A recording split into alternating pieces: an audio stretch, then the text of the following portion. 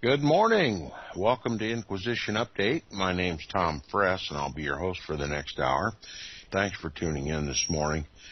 Uh, where I'm anxious to get started our reading and discussion of the book, uh, The Papacy and the Civil Power. We're talking about the steady rise of ascendancy of the Pope in his temporal realm. That is, to become King of Kings. And proving through history, undisputed history, that the popes did not have temporal power early in their beginnings, but that it has evolved over time and increased in strength. Rather than being uh, uh, an official divine right office of the papacy, the temporal power is a man made institution or rather, more correctly stated, it's an institution of Satan. The papacy claims to be king of kings and lord of lords and to rule over the kings of the earth in the temporal realm and thereby blasphemously arrogating the true position of Christ that only he has. Now, it's evident through history that the popes early on had no temporal power. They claimed a spiritual power, which to many uh, he rightly possessed. That too is incorrect. The assertion of Inquisition Update is that the Pope is the biblical and historical Antichrist, fulfills all the prophecies of the Bible regarding Antichrist, and it is a counterfeit system wholly created by men, evil, wicked men, led by a spirit of Satan. Now, those are strong words, but I don't retract any of them. It's true. I've been researching this for a long time, and one of the books that makes this most evident is this book, The Papacy and the Civil Power by R.W. Thompson. I hope you can find a used copy of this book. It's getting to be rather difficult to find, but it would be important both to your understanding of history and the Bible to get this book and read it and share it with friends and family. Now we're going to continue. I'm going to begin on page 278, or excuse me, 273, the last uh, sentence or two at the bottom of the page it says, And thus it is certain that at the close of the pontificate of Felix II in the year 492, the Pope of Rome neither had nor claimed to have any temporal power as a part of the quote unquote patrimony of Peter or derived in any other way. He was a mere bishop, like the bishops of Alexandria, Corinth, and other places and his powers were limited to the administration of spiritual affairs. In temporal matters, he was as much subject to the emperor and the laws of the empire as any of the inferior clergy or the people. The struggle, however, for the acquisition of temporal power went on all the time, with results varying according to the circumstances. The strong popes gained upon the weak emperors, but the latter were courageous enough to assert and maintain the authority of the empire. The papacy was dwarfed into the narrowest proportions. The church, in the meantime, was left to drift along into whatsoever currents the interest and ambition of the contending factions carried it, and the cause of genuine Christianity was made subordinate to political rivalries and would have expired if God had not preserved, even in Rome, faithful guardians to shelter and preserve it. My belief is that R.W. Thompson is being extremely generous to the Roman Catholic Church here. I believe the Roman Catholic Church, though prophesied by God to exist until God destroys it, is not so much protected by the guardians of the faith or by Christianity. It is a wholly human protected institution. It is prophesied to exist in the world and to be the counterfeit of the true kingdom of Christ. To test God's people to see who they will serve, Christ or Antichrist. Now, continuing now where we left off Friday at the end of the broadcast, it says the century which elapsed between the pontificate of Felix II and that of Gregory I, embracing the reigns of 15 popes, contributed but little toward conferring temporal power upon the Bishop of Rome. The emperors continued to maintain their ascendancy, although the angry controversies between the East and Western Christians kept up a perpetual strife between Rome and Constantinople, in which some of the popes proved themselves the superiors of the emperors in the management of public affairs. There was no relaxation of their efforts to consummate the policy of Pope Leo I by bringing all the existing governments of the world into subjection to the papacy. I'll bet most of my listeners did not know, as I have discovered in my discussions on amateur radio, most people are oblivious to the idea that the Pope intends to rule the world. That's been the preoccupation of the papacy since the very beginning. It's true, and it still goes on today.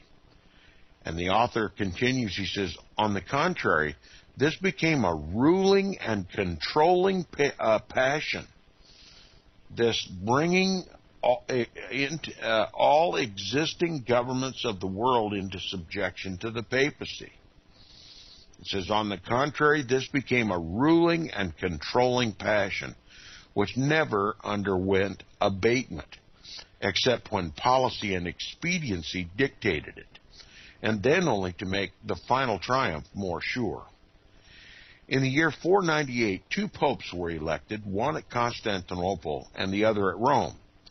Neither being disposed to give up his pretensions, it was submitted to the judgment of King Theodoric of Ravenna to decide between them, a fact which proves that worldly policy, far more than the influence of the Holy Ghost, was allowed to settle the important question as to who should be the successor of Peter and God's vicar on earth.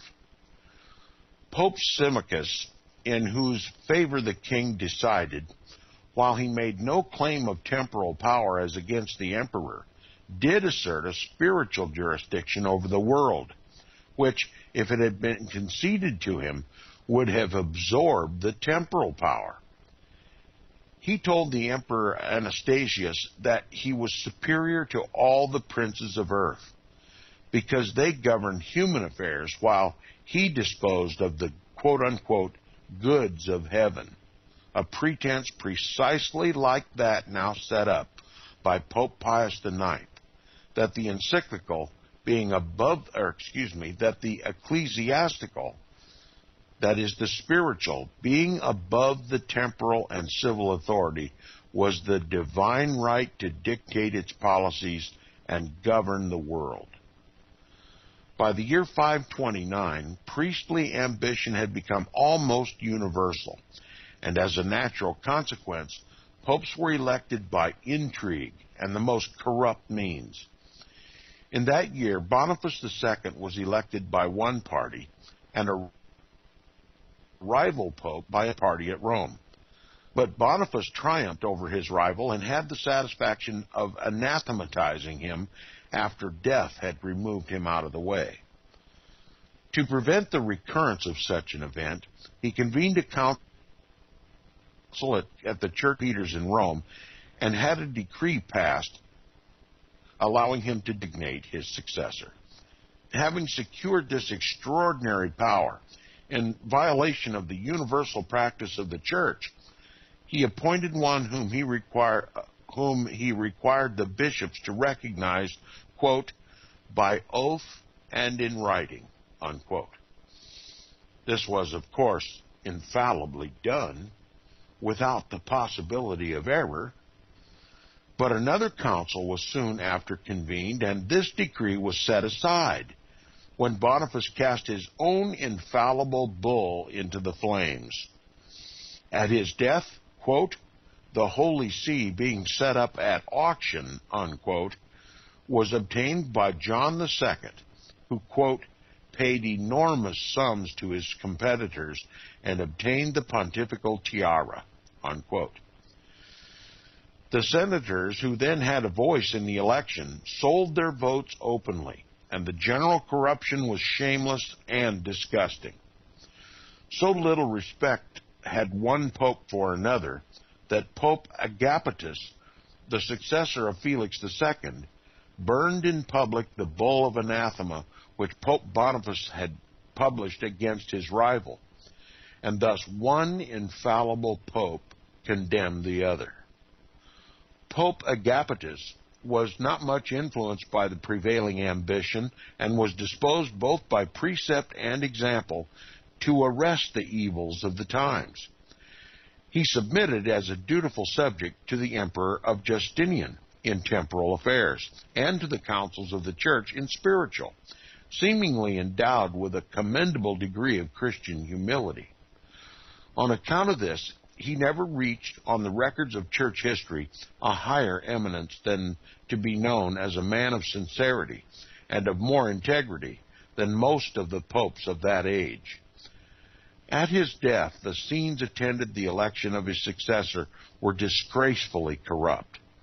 Says Cormenin, quote, priests sold their suffrages, cabals struggled, raised upon their competitors and carried off the partisans of their adversaries, and at length victory remained with the richest, the most skillful, and the most corrupt.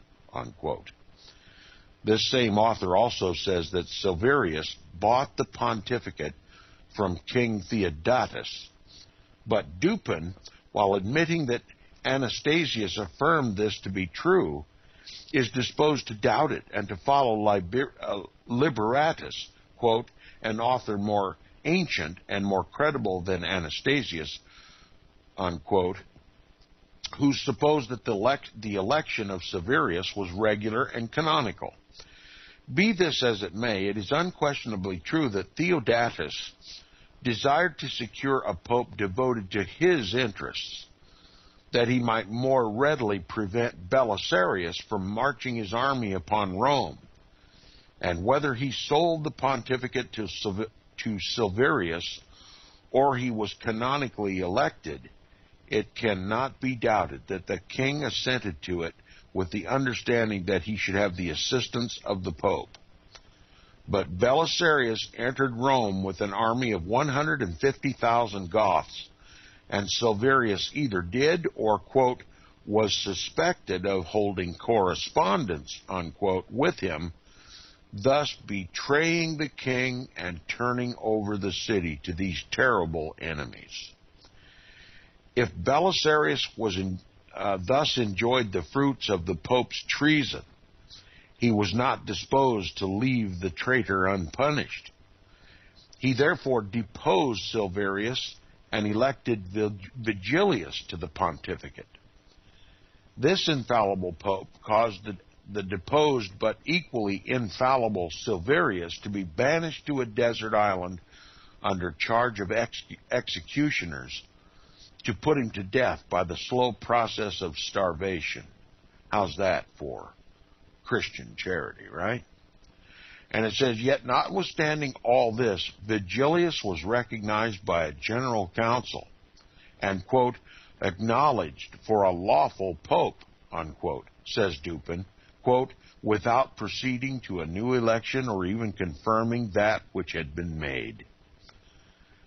His name, as also that of Silverius, who has been made a saint in the Roman Catholic Church, is found in every published list of the popes, and strange as it may now seem, one of the ecumenical councils of the Church, the second of Constantinople, was held under his pontificate and received all of its authority and validity from his official approval as the infallible successor of Peter.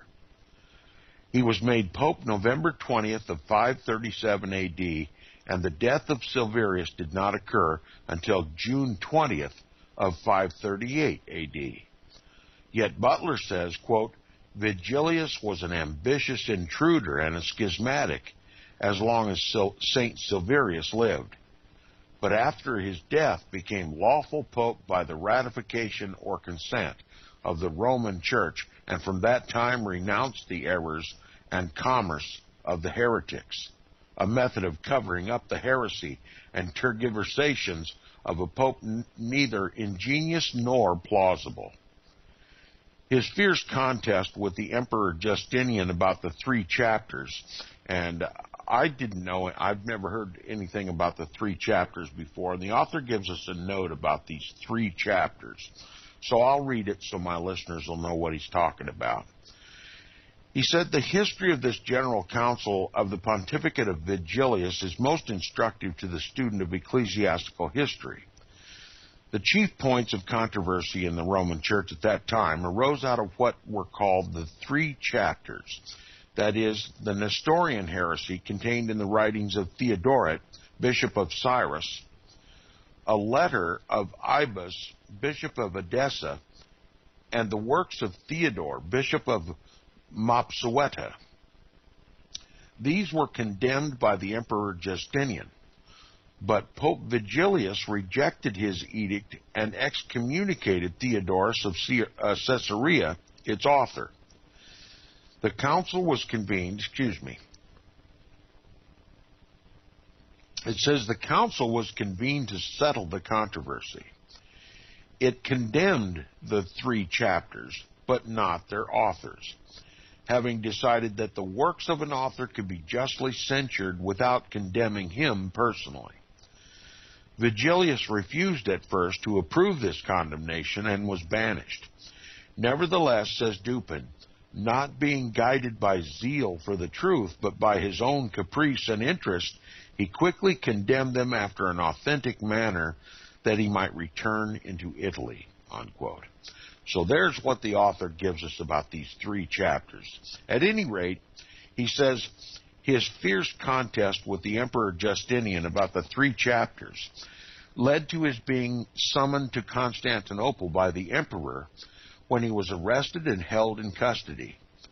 On his return to Rome after his release, he died, as some have supposed, by poison.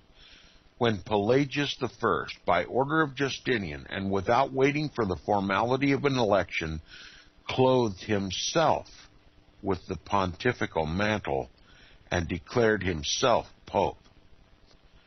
When he reached Rome, the clergy and the people refused to recognize him and charged him with the murder of Vigilius.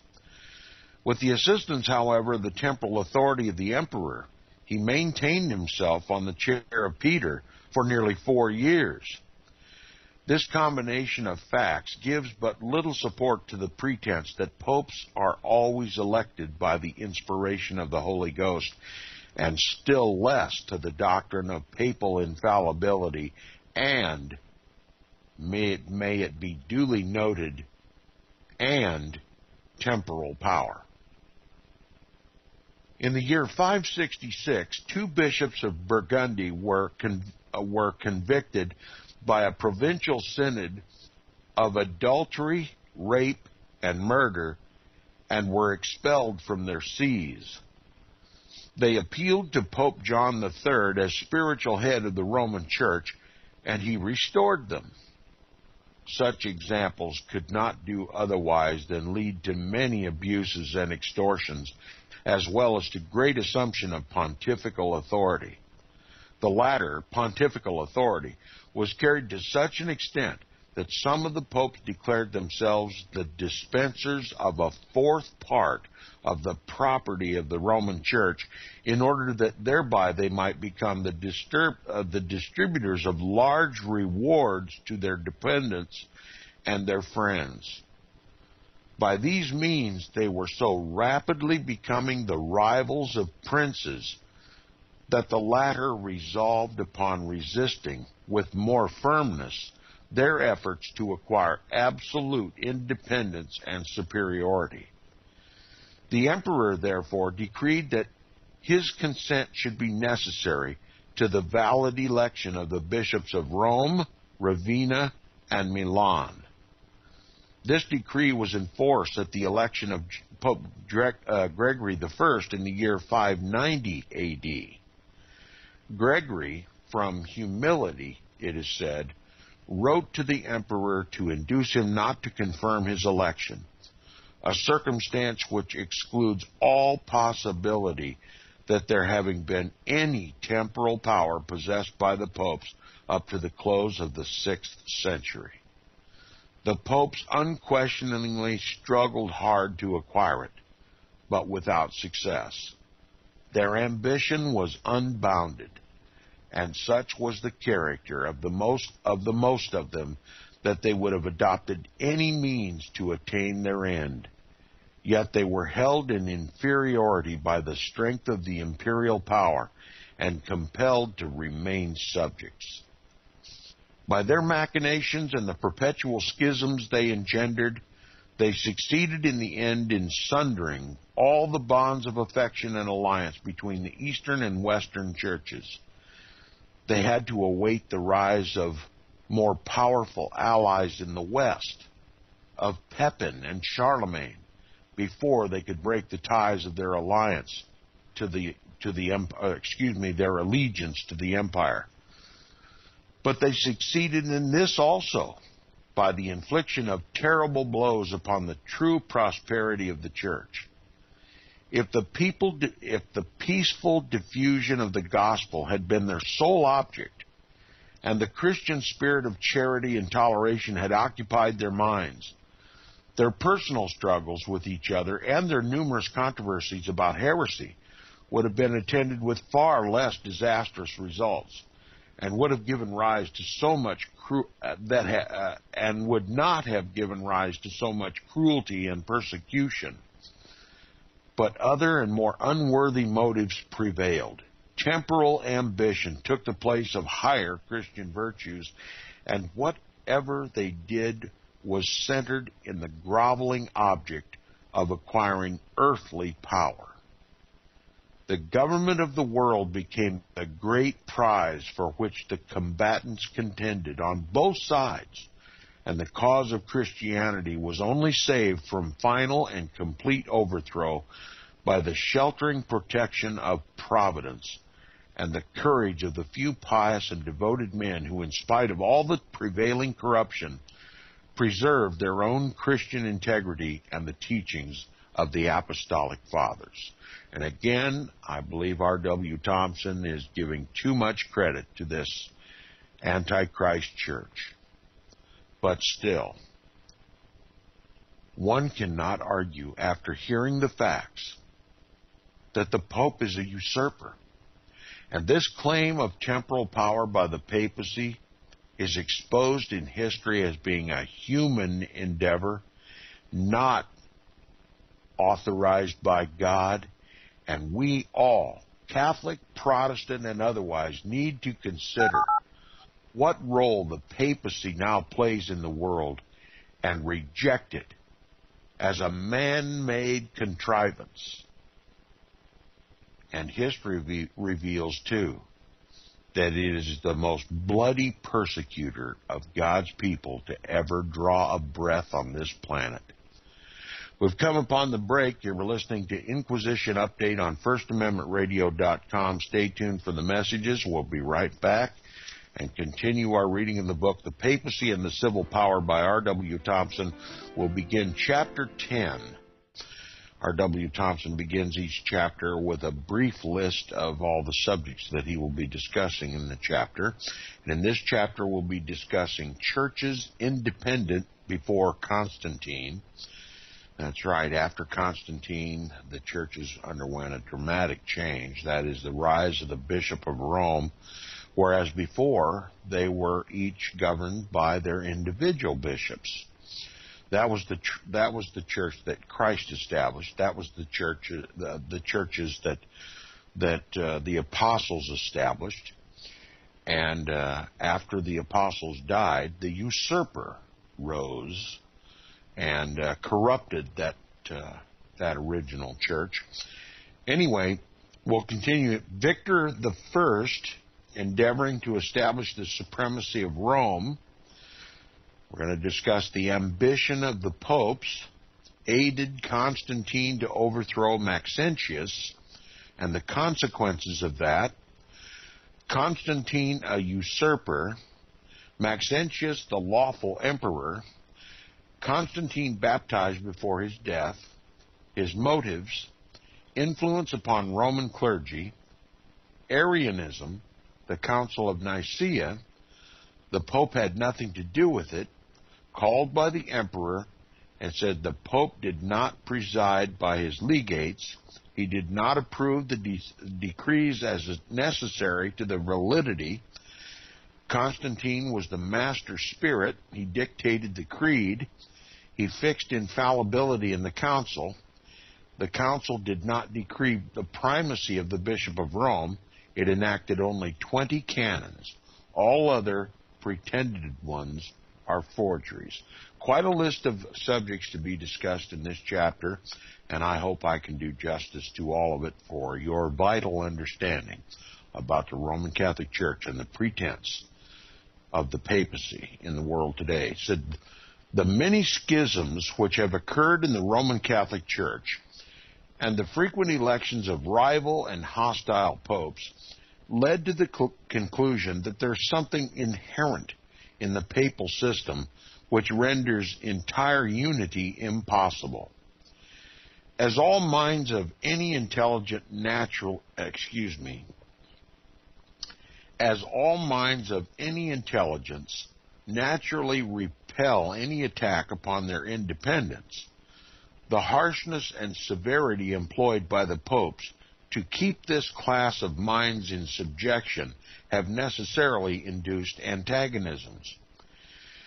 The ignorant alone, outside the governing class, have proved submissive, and they, on, and they only because they are unconscious of their inferiority. These, for many centuries, constituted the mercenary armies of the papacy.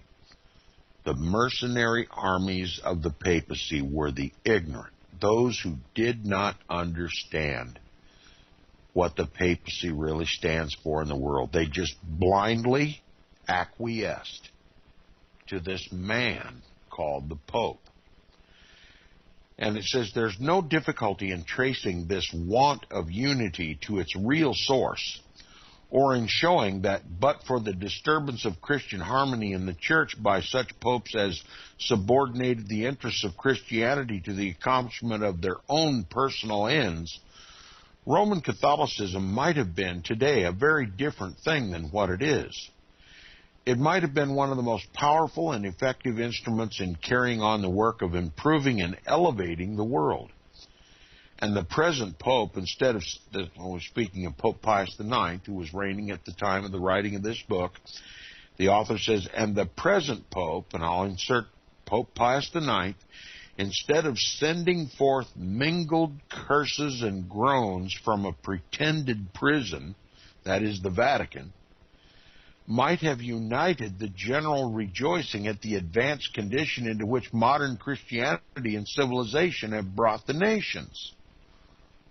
Now he's lauding Protestantism here. The world had advanced. The Pope was rejected the Vatican literally became a prison for the Pope. The whole world was going the Protestant way. And the world was advancing. And it says the Church of Christ was undoubtedly established upon a rock because the faith upon which it rested was designed to be more immovable than the mountains. Love, charity, harmony, and all the heavenly virtues clustered together at, the, at its foundation, and there can be nothing rightfully about it to destroy its symmetry or mar its beauty. But the papal system is constructed out of uncongenial and inharmonious materials. It was the work of man, not God erected out of beautiful materials gathered from the partial wreck of apostolic Christianity. by mingling them with the rude fragments of pagan Rome, it lacks the symmetry of a perfect plan and displays the conflicting designs of its various architects. How eloquent this author just described the Roman Catholic Church. It was built on a partially compromised truth. And then it was mingled with ancient Roman paganism. At best, it's a mess. And now he says its external organization has grown out of illiberal and unchristian divisions fomented by designing popes and prelates with no higher object than to gain authority and distinction for themselves, even at the sacrifice of the simple faith and worship of the early Christians. Its own factions have never ceased to prey upon its vitals from the hour of its birth, and have been to each other what the plagues sent down from the gods were to those who first stole fire from heaven. It has made fierce and cruel war upon everything that stood in its path or endeavored to check its ambition. And if at any time it has been met by intolerance, the weapons used against it have been supplied from its own armory and, be- and, and belong to the brood of monsters which itself has hatched. Before the time of Constantine, each of the several churches planted by the apostles and the early fathers exercised its own jurisdiction over its own members and thus preserved harmony in faith and worship. The right of visitorial guardianship exercised by the apostles while planting and watering them in infancy existed no longer because there was no longer any necessity for it. But while each church governed its own affairs, they all realized the necessity of preserving a spirit of unity and such brotherhood and fellowship among the whole as would enable them to sim, sim, uh, sympathize to sympathize with and assist each other in the adjustment of their local disagreements, if any should arise. A harmonious and beautiful Christian system was thus created worthy of the divine approval, and under it, the Catholic Apostolic Church was able to stand up and ward off the staggering blows of the pagan emperors. Now, I want to stop and comment. This phrase, this descriptive phrase called the Catholic Apostolic Church, is another example of how some some people like to describe the body of Christ as a, a Catholic church. In other words, a universal church. I don't do that. And I want my listeners to know when I speak of the Catholic Church, I'm speaking of the Roman Catholic Church. But I'll let this author use the convention that he chooses here in describing the true body of Christ as the Catholic Apostolic Church. It's confusing, and that's why I don't I don't use that convention to describe the body of Christ. Catholic, in my out of my tongue, represents the Roman Catholic Church. I describe the body of Christ the way the Bible describes it, as the body of Christ. I don't see anywhere in the Scripture where the body of Christ is called Catholic or universal. And so I stay away from that confusing convention. Now, the author continues, he says, the first efforts to disturb this harmony were made by the bishops of Rome. About the beginning of the third century, Victor I, with a view to establish the primacy of the Church of Rome, endeavored to compel, uh, endeavored to compel the Asiatic churches by threats of excommunication to conform to its custom in keeping the festival of Easter. About half a century afterwards, Stephen I attempted to assume jurisdiction over the churches of Spain, and still later Dionysius made a like attempt over the church at Alexandria. These attempts at ecclesiastical absolutism at Rome were so sternly rebuked by the great fathers Irenaeus and Cyprian as to demonstrate that the uh, that the leading churches could not be subjugated unless by some power they were unable to resist. The bishops of Rome soon saw that this power was political imperialism, and they availed themselves of the first opportunity of uniting church and state at Rome in order to obtain possession of it. This opportunity was the arrival of Constantine at the time when the corrupt materials necessary for such a union were abundant at Rome. Eusebius, who was a prelate of eminence at that time, gives this account of the clergy. Quote, but when, by reason of excess liberty, we sunk into negligence and sloth, one envying and rivaling another in different ways, and we were almost, as it were, on the point of taking up arms against each other, and were assailing each other with words and with darts and spears, prelates inveighing against prelates, and people rising up against people, and hypocrisy and dissimulation had arisen to the greatest height of malignity when the divine judgment began to inflict its episcopacy.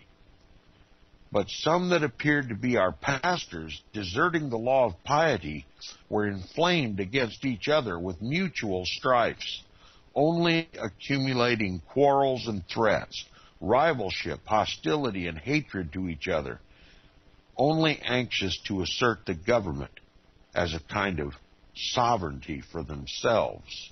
Unquote. It has been charged that Marcellinus who was Bishop of Rome in 304 AD, shortly before the arrival of Constantine, quote, solemnly abjured the Christian religion and offered incense to idols in the temples of Isis and Vesta, unquote. However this may be, it is not at all wonderful, in view of the condition of things pictured by Eusebius, then when Melchiades, a few years later, uh, became Bishop of Rome, he was he was willing that the reigning emperor should be removed and the empire seized by Constantine in order thereby to unite his fortunes with the state and those of the state with the Roman Church. Constantine was not a member of the church, then the only visible sign of Christianity.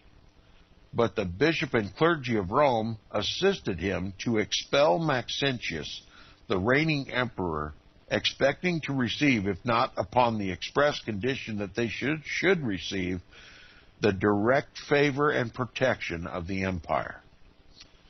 With the emperor on their side, they could readily see how easy it would be to draw all religious contra- uh, to draw all the religious controversies throughout the empire to Rome, and thus lay the foundation for the supremacy of the church there.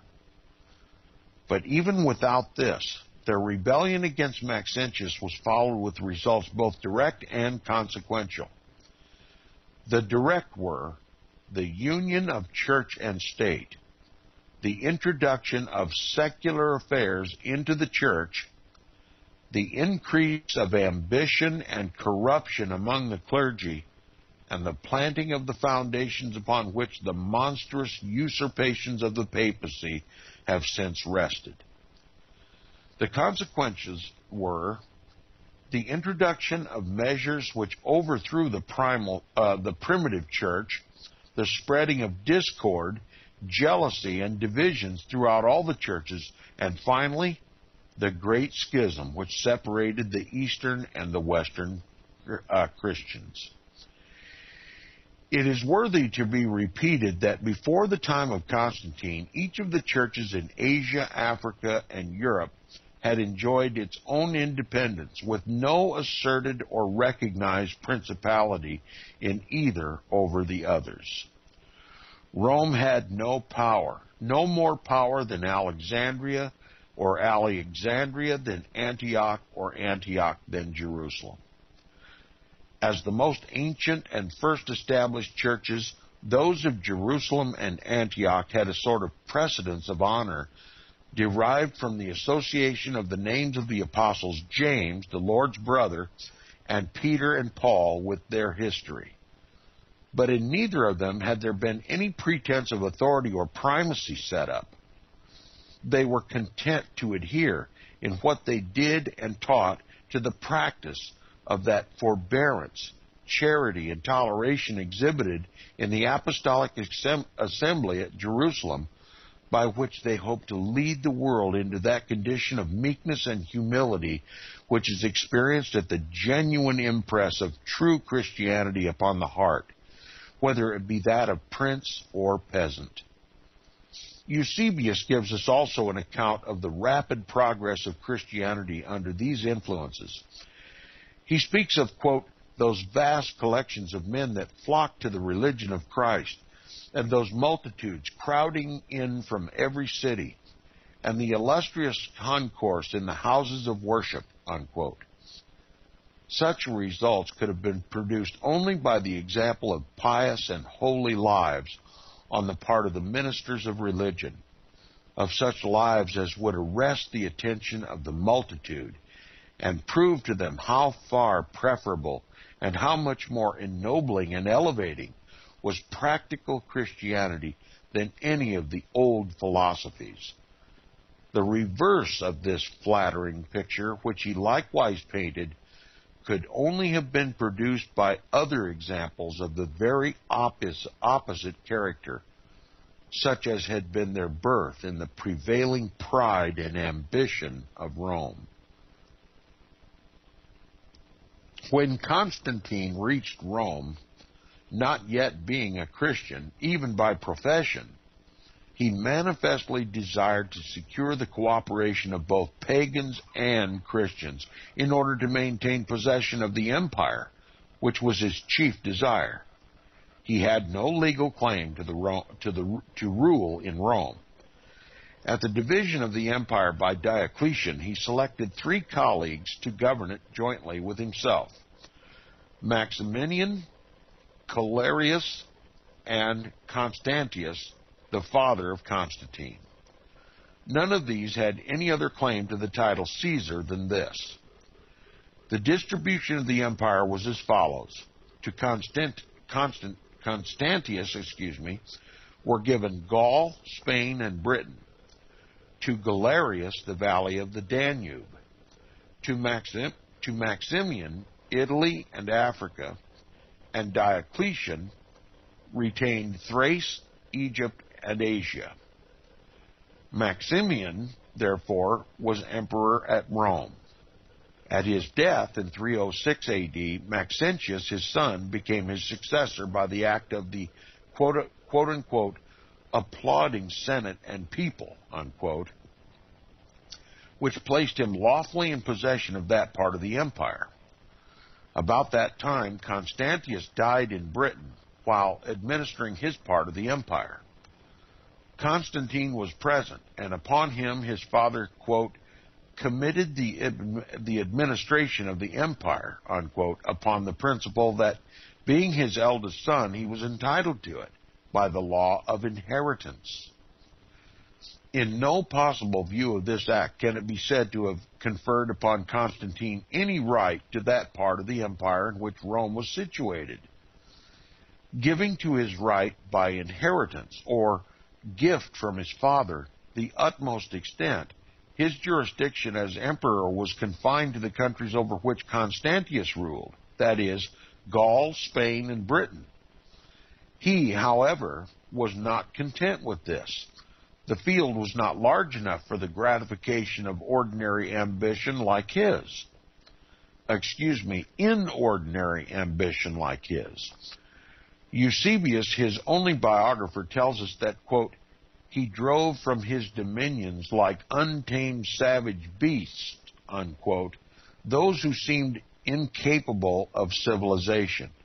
Quote, reduced to submission unquote, parts of Britain, uh, parts of Britain and then, quote, proceeded to consider the state of the remaining portions of the empire, unquote. No part of it attracted his attention so much as Rome, quote, the imperial city, unquote, and he therefore, quote, prepared himself for the effectual suppression of the tyranny, unquote, which prevailed there under Maxentius, that is, for snatching the imperial crown from the brow of Maxentius and putting it upon his own. The pretense that he desired to go to Rome to re, uh, relieve the Christians there from the oppression of Maxentius is idle, for he was not yet a Christian. He desired the empire, and for that purpose alone he marched his army to Rome. Upon reaching there, he had two things to do in order to secure his desired success. First, to drive out Maxentius, and second, to conciliate the inhabitants. The first accomplished, he undertook the second by granting equal freedom of religion. Excuse me. Pages are stuck together here. At uh, the first accomplished, that is, throwing out Maxentius, he then undertook the second by granting equal freedom of religious worship to both Christians and pagans, thereby signifying his condemnation of religious persecution. This was altogether conformable to the wishes of the Christians, for up to that period, the example of toleration set by the apostles and the early Christians had been universally practiced by them, except in the instance where the Bishop of Rome had endeavored to establish their primacy over those and other churches. Thus established in Rome, Constantine entered immediately upon a system of measures by means of which the clergy were greatly advanced as a reward for their support of his cause. He conferred great favors upon them, such as they had never before enjoyed. Those already corrupted by the prevailing disorders of which Eusebius speaks were beyond all doubt quite ready to accept this arrangement without any inquiry beyond the mere questions of personal benefit to themselves and as these had control of the church at Rome, it soon resulted in uniting the church and the state together in such a way as to make one independent, uh, excuse me, to make one dependent on the other. Even then, he had not become a Christian by uniting the church, nor did he do so for a number of years after the Council of Nice. Yet he convened the council, was present during its sessions, participated in its deliberations, and dictated its decisions. It is a gross perversion of history to call him a Christian emperor in the sense that the papists continually do, for none of the fathers from whom we derive information of those times gives any account of his baptism into the church until he was about to die, long after his capture of Rome. Socrates says that in the 65th year of his age, he received, quote, Christian baptism, unquote, in Nicomedia and died in a few days. Sozomen says the same thing, adding that it was in the 35th year of his reign. And so does Theodoret, and also Eusebius. Eusebius talks about God having frequently manifested himself to him and everybody is familiar with his story about the sign of the cross in the heavens, and it is undoubtedly true that he had great respect for Christianity. But all this does not go to show, against other acknowledged facts, that he had become so connected with the church at Rome as to be moved by motives of piety alone to bestow so many royal favors upon it. The fact is, he never united the church of Rome at all. When baptized at Nicomedia, the ceremony was performed by Arian bishops and an Arian church, so that he never was, according to the te- teachings of the Roman Catholic Church, an Orthodox Christian, but died as he had lived, a heretic. And Rome loves to champion the Christian Constantine when he was none of it. That's the basis of the Antichrist Church of Rome. We'll talk more about it tomorrow. Thanks for listening.